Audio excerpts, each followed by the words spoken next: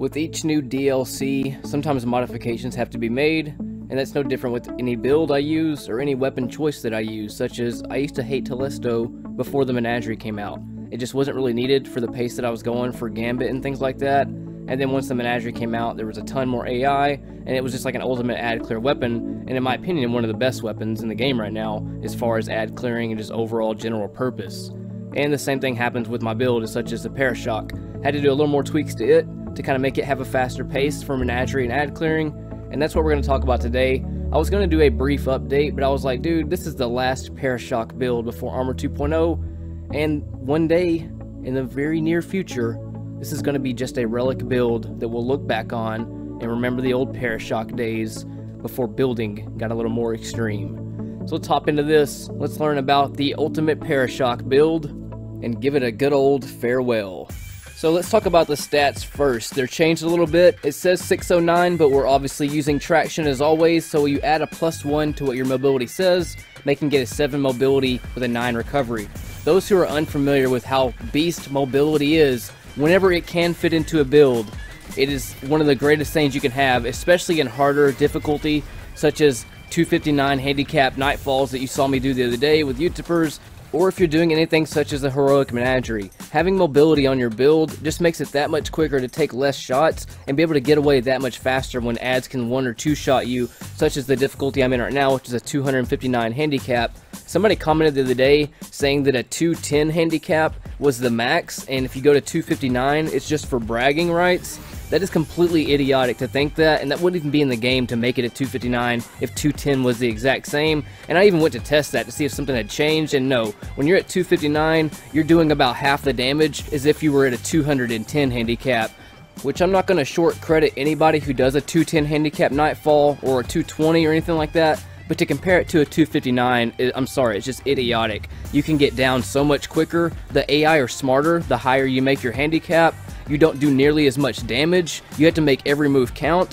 And when I was talking about Recluse and Loaded Question, you can use those weapons, but I'm talking about speed killing. And when it comes to speed killing, you're not going to be able to go as fast with those weapons because you can't go toe to toe with them and run in there with a submachine gun and try to battle them out, even with the Master of Arms perk proc, because they're going to gang up on you. They're going to shoot a lot faster, move around a lot more. You're not going to be able to do as much damage because you're going to be 49 light under, which is one light above before it says they're immune to your damage. So it requires a specific type of weapon to do this light difficulty, and that was what I was getting at when it comes to speed killing faster than somebody else. It's not that it's a competition, but let me give you some backstory of where I came from, and this is not to brag, okay? Even though it's going to sound showboaty or whatever, because people will just love taking me the wrong way, but I came from the Nightfall and Strike point system from D1, and what that was is it calculated the amount of kills you would get plus the time completed for the Nightfall or the Strike. So you couldn't run past every ad, you had to clear every ad for points, and then also it calculated your time completed. And I used to race people every day and every week on this on Guardian.gg back when they used to keep ranks and all this stuff and I used to place first every week and I would learn how to build out, I would learn how to use certain weapon loadouts, everything that could give me an advantage over somebody else is what I used to build for. So I had a huge head start over everybody trying to make builds in Destiny 2 because I came from a hardcore playing field in D1 when Nightfalls and everything used to be so much harder than it is in D2 so like I said, it's not to brag or anything, but when I talk about specific weapon loadouts or what's going to make you faster or quicker or more beast, that's where I'm coming from. And it's not to sound like a douche or whatever. It's just, that's, how else can I say it? You know what I mean? So that's what I'm getting at. When it comes to those type Nightfall levels, you have to use a specific weapon loadout to do it faster than somebody else. It's not that I'm always going to use Telesto or always use a specific weapon. I can use any weapon and speed kill against somebody. It's just I like to gain advantages and I like to use specific weapons when I'm trying to go as fast as possible. So I'm giving you background experience and knowledge from that experience. The wisdom from experience is basically it. And it's helping out a lot of people who are taking that wisdom and that's all I can really tell you, man. I'm trying to help the player base become a beast, and I've been there. I've placed ranks in it. I know what is what it takes. You know what I mean? I just know what it takes. That's all I can tell you, dude. It's just trolls. I get tired of it, and I wanted to give people backstory on what I'm talking about and where I'm coming from. I've been there. I know how to build out for it. Even though the point system doesn't exist anymore, I still naturally build out for it because that's one of the most fun things I do in Destiny, and that's actually what got me addicted to Destiny was the strike point system back in D1 and racing other Guardians to be the fastest one. That was really what just sealed the deal and made it be my main game. I don't post solos anymore. I stopped doing it because I just got burnt out on doing it, honestly, because everybody's doing solos now. So I just decided to start teaching people how to do it. But hopefully in September, they bring back the point system, make racing fun again, because that was really what really made the game fun for me. And I know that if other people got into it, they would also find it just as fun. And if it does come back, you'll have a ton of knowledge to be able to compete in it and beast against other guardians. So that's the niche of the channel teaching and creating beast players. Now let's get into the subclass, the one that I recommend, even though it is a neutral subclass. I've always been a huge fan of the bottom tree. It's like a Titan Smash. You can stagger enemies up to 8 seconds to allow your fire team to do more damage while the boss or the ads can't do anything. And it also gives you a ton of armor, so if you're about to die, you can landfall to stagger or give yourself a ton of shielding to prevent you from dying. I use it a ton in harder nightfalls because if I'm about to go down, it's like you get almost immune damage for a minute and allow yourself to recover while the boss or whoever is staggered around you. Top tree does last a lot longer, but when it comes to difficult activities, having that staggering capability it just outweighs any benefit that the chaining capabilities of top tree give you or the longevity of the top tree, not counting the other perks that bottom tree gives you, such as Rising Storm, Hitting a charge melee against somebody, you don't even have to kill them, but it gives you a huge chunk of super energy and a huge chunk of grenade and melee energy, and also stacks with perks like Enhanced Impact Induction, which is really nice to have. Check out how fast I get my super back from halfway just by having Brawler on. So if you have modifiers such as Brawler that all stack with these perks, you can get your super back so quick. And just because of the helmet that I'm going to be using, the Crown of Tempest, having the Conduction Tines allows it to charge back even quick as well. And then Arc Soul, whether you're doing a team related activity or a solo activity, it's nice to have this at your side at all times because it can take care of targets while you're taking care of other targets. It can sometimes even locate targets before you see them yourself, whether you're doing Crucible or doing a Nightfall solo. Watch as I'm fighting this taken enemy, and then you have the scoring guy that keeps making himself go immune by going invisible, which I hate more than anything but it's awesome because the Arc Soul can kind of take care of him since he's a closer target while I'm shooting off in the distance. It doesn't do much damage, but every little bit counts, especially when you're doing Nightfall solos and things. It can take care of multiple targets. And with the bottom tree, your Arc Soul and your Rift last even longer. And then if you pair it with Electrostatic Surge, which means if your allies are near you, it charges even faster. So you can use this to help when you're on your own, kind of trying to get motes and take care of ads as a Reaper, or if you're stacking up towards a boss, having four people with that on their shoulder, that damage does add up. And for your entire team, it's not a bad thing to have the Rift just in general, and for the longer lasting Rift. And when you pair it with a 9 or up recovery, even an 8 is good. When they're trying to burn you down, having that Rift that comes in clutch last second is really nice. And the higher your recovery, the faster the meteor charges itself back up. I don't play much Gambit anymore, but back when Gambit Prime was out, me and YouTubers used to 2v4 teams. I would pair Bottom Tree Arc with his Top Tree Nova, and they really paired well together for reaping, for invasions, for ball smelting, and by having that extra damage can actually help you come in clutch to take victories. This was a 3v4, but that extra damage does pile up. As far as your grenade with this build, always recommend grenades that last a long time, such as pulse grenade, thermite grenade, any kind of grape grenade. You just throw it at your feet, step in it, and it just actually just does more damage over time and can actually shield you from other targets trying to collapse on top of you. And as far as your jump, always go burst glide. If you haven't learned burst glide, you need to learn it. When it comes to speed killing, you are going to get dusted using any other jump but burst glide. The other ones are way too slow, way too floaty, and if you're going up against somebody that knows how to speed kill, they are going to dust you and go clear everything out while you're trying to catch up. Here's a tip. Whenever you're falling off of a ledge, don't jump off, just boost down when you're falling down and it gives you a little bit more of a speed boost. I'll show it to you in regular motion. Just remember, don't jump off of ledges, boost off of ledges like that right there. Learn to do that because every small boost matters. The two best ways to jump are when you do your short jump like that, you will boost towards the ground. And then the second way is to boost towards the ground and immediately off the ground. So it's jump, jump, jump. Jump, jump, jump. just like that, so you cancel off the second jump to have a momentous boost forward, and then right here you'll see me boost down right there as I'm falling off that ledge, and then I easily catch up to all those hunters to get there a little bit before they do, so it adds up over time, and when it comes to speed killing, getting there first can make you start getting into beast mode that much quicker. Learn the burst glide, because to speed killers, we just see that as an advantage over you and your weakness. Now let's move on to the armor finally. Sorry it took so long, but 1 mobility, 3 recovery. Get that recovery mod on there. Buy the Xur version before he goes away this week if you're watching it at the week that I make this video. Light Reactor is a beast on top of Crown of Tempest. You can get supers within 30 to 35 seconds easily with this on, and it comes with fusion reserves. If you are unfamiliar with Crown of Tempest, every arc ability kill you get charges all your arc abilities, and you can also use it with arc charge balls, like this right here. Every time I hit somebody and kill them, I get Conduction Tines, which goes to all of my abilities and my super. Really nice to have, just a quick tip. Also, if you're wielding a sword, it also helps with that as well. If you have Conduction Tines when you pick up a sword, Watch the meter going up right now. You see how fast it's going? That's because I'm also getting orbs, but check this out. I'm going to throw the grenade, you see how slow it's going? And then as soon as the conduction tines procs, it starts building up hella fast. So if you're using swords, you can use that to your advantage to get that hella swing, start busting these dudes up if you're doing the menagerie or anything else. Now I want to show you how fast I can get my super back using arc abilities with the fusion rifle such as Telesto or really any fusion rifle. I just have the Telesto on right here because it's a beast in the menagerie and like I said it's probably one of the best guns in the game right now for general purpose and for ad slaying. But you see my super ended and I'm already almost halfway there just by fucking knocking these dudes out with Telesto, doing my Rising Storm melee and just procking all these abilities, all these fusion rifle kills plus the orbs I'm picking up from the Masterwork kills. You can see how fast my super is pretty much already back about to knock these dudes out, pick up a Masterwork Orb on top of that, and boom, we already have another super within seconds. This is one of the best helmets Xur has sold in a really long time. Don't forget to pick this up. Moving on to the arm piece now, Enhanced Impact Induction, which is 8 seconds off your grenade charge per melee hit to the body, but it has a 6 second cooldown, and the grenade charge mod is for background recharge whenever you're not using your conduction tines because it doesn't stack with it, or for boss battles when you can't proc conduction tines, or a melee against anybody. Make sure it's a restorative warlock arms, 1 mobility, 2 recovery. This is what it looks like in battle when you have Enhanced Impact Induction with the Rising Storm, or without it. It's still fast with or without.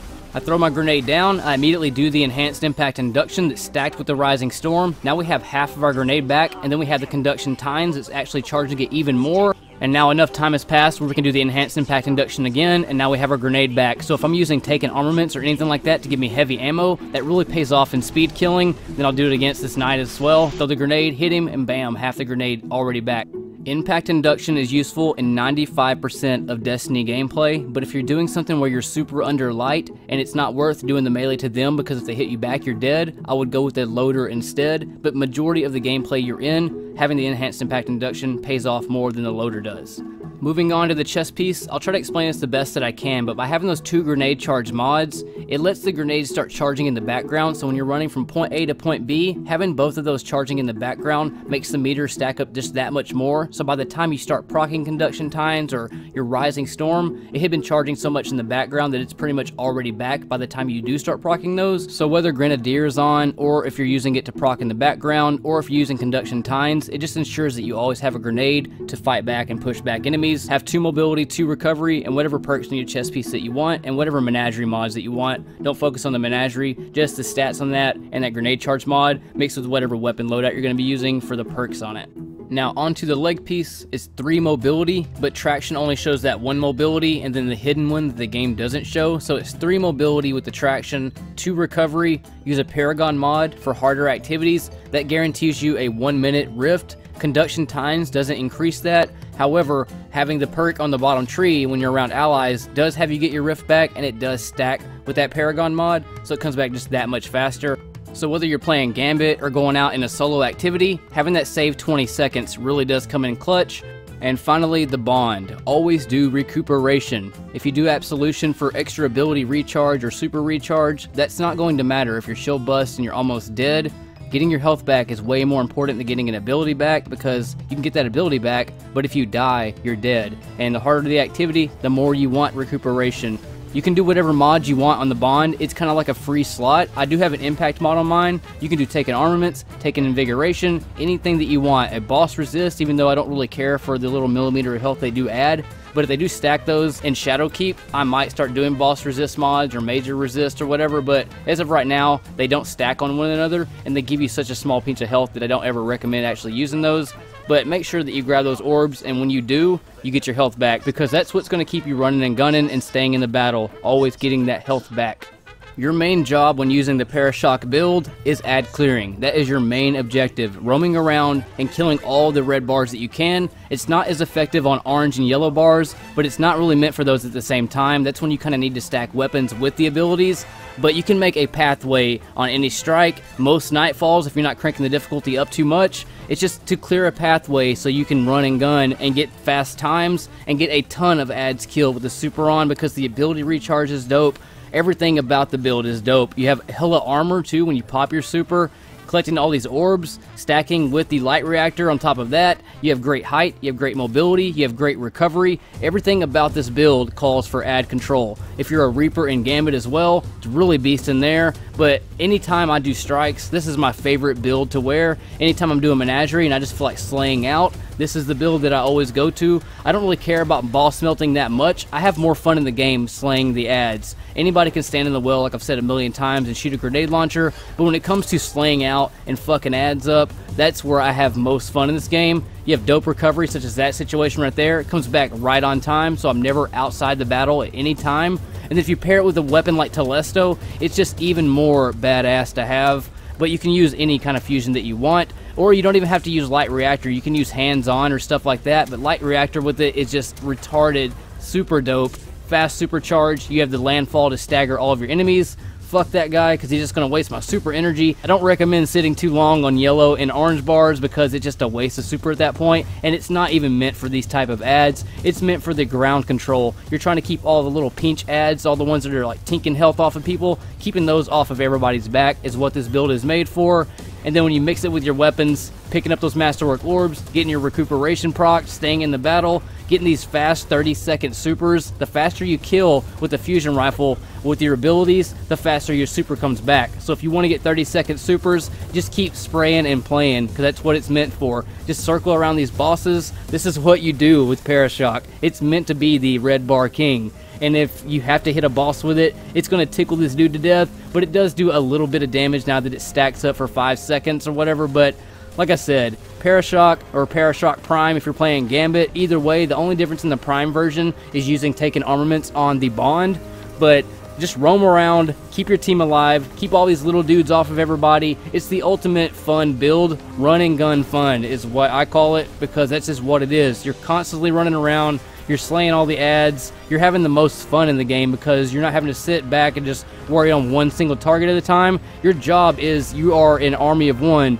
to roam around and just slay out all these little dudes and keep everybody off everybody. And that's what I like to do. I can melt all these other bosses if I wanted to build out for it, but this build is just so damn fun and it's one of my favorite builds of all times. And I actually got top 10 Reaper in Gambit because of this build because this is all I wore and I just walked around and slayed the shit out of everybody. Picked up motes, went and dumped them, rinse and repeat with those fast ass supers. At the time that I played Gambit, I didn't use Light Reactor on this helmet, I used hands on. It was still a fast supercharge, but damn dude, Light Reactor, I wish they wouldn't have waited so long to sell it.